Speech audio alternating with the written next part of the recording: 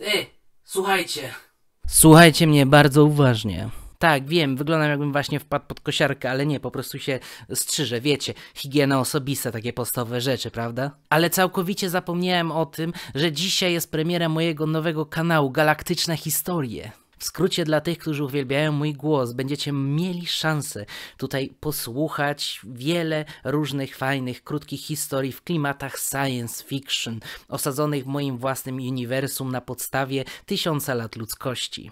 Więc ci, którzy chcieliby trochę więcej tych wspaniałych szczegółów tysiąca lat ludzkości, to oczywiście gorąco Was zapraszam na e, ten mój nowy kanał. Link macie poniżej, a teraz e, pojawi się mm, taki przykładowy materiał, który będzie się pojawiać raz w tygodniu na moim nowym kanale. Ja się idę dalej golić. Dziękuję bardzo za oglądanie.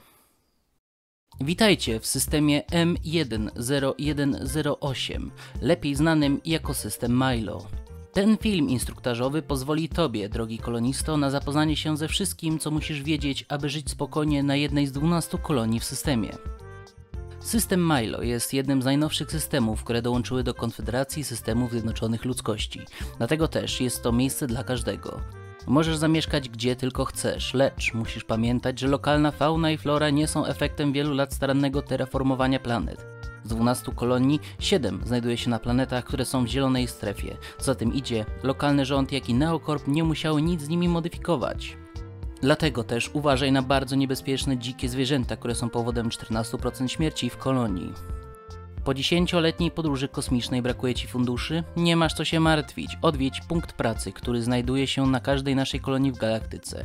Oni Ci pomogą znaleźć pracę marzeń, która da Ci obiad na stół. System Milo na chwilę obecną potrzebuje górników, rolników i eksterminatorów lokalnej fauny. Ach, aż czuć to zadowolenie Twojego konta. Witamy w M10108, Twoim nowym domu.